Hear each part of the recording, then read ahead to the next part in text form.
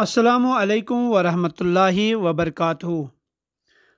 हद से ज़्यादा सोना बीमारियों का मौजब है।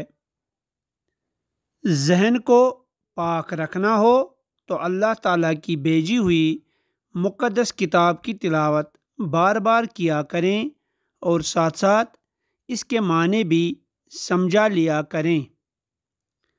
सबसे बड़ा नुक्स एक इंसान में ये है कि जब वो हर चीज़ को नज़रअंदाज करता है, एक इंसान की सबसे बड़ी मेहनत ये है कि वो अपने बच्चों को एक बाकरदार और बाहयात तरबियत से नवाजे।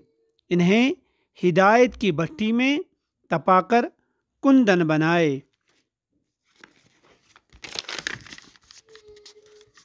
अनजाने में जो कदम उठते हैं, वो डगमगा जाते हैं और जो कदम सूझबूझ के साथ उठते हैं, वही राह मुस्तकीम तक पहुँच पाते हैं।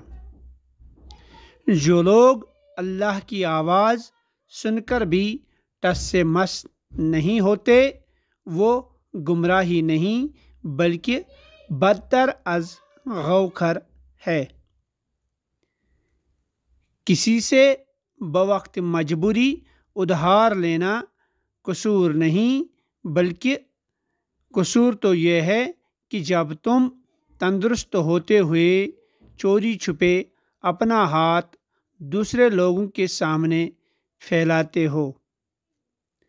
घर से मस्जिद तक इबादत के लिए जाना अच्छा है, लेकिन अगर अपने घर से किसी की इमदाद के लिए जाओ तो इबादत ही नहीं, बल्कि इबादत से भी बढ़कर है। बाकी वसलाम